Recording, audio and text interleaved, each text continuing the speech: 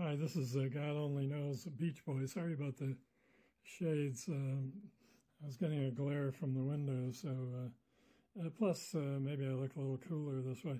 Anyway, God Only Knows, I consider the Beach Boys' most beautiful song, beautiful melody and chord progression, and lends itself to this kind of arc arrangement that I've got here with some improvisation in the middle. Have a listen.